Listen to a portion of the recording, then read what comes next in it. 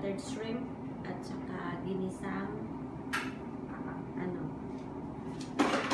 um, ngayon, string beans. Ayan.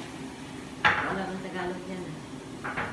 so yan guys yung aming modified antay lang namin yung aming tilapia. Ng paksiw na tilapia. So hindi mawawala ang tilapia ng paksiw. Yun yung aming modified